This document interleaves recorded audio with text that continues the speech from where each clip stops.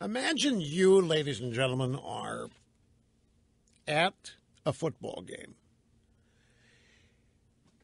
Let's say that you are in Detroit on Thanksgiving Day and you have your girlfriend or your wife with you. And you're sitting there.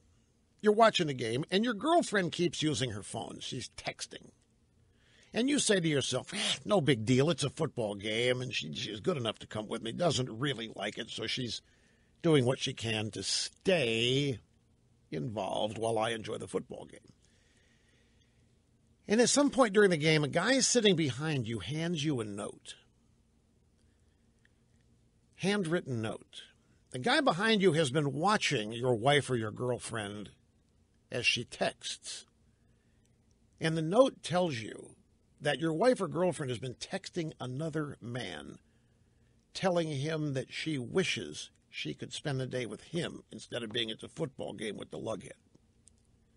And then the guy who you don't know, who gives you this note, says, Happy Thanksgiving. Have a great day. But I think you should know, bro. That actually happened.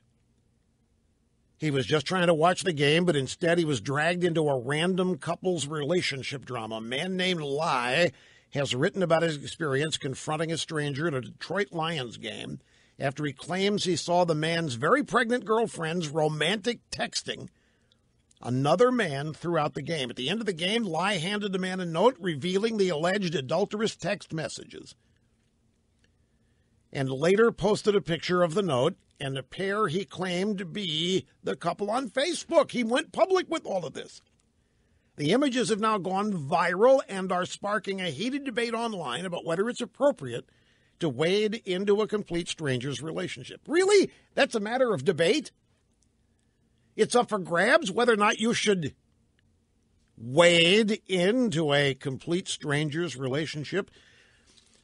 This guy took a picture of the note that he wrote, posted it. He says, Hey, bro, I don't know you and you don't know me, but when you get home, check your girl's phone. She been texting Jason saying she wishes she was with him all day. Take care, bro. Wish you the best. Signed, unknown fan sitting two rows behind you at the Detroit Lions game. Is this you know, you, you're worried about the NSA spying on your emails. You're worried about you're worried about Apple or Google or whatever. Hey, how about the guy sitting behind you in public?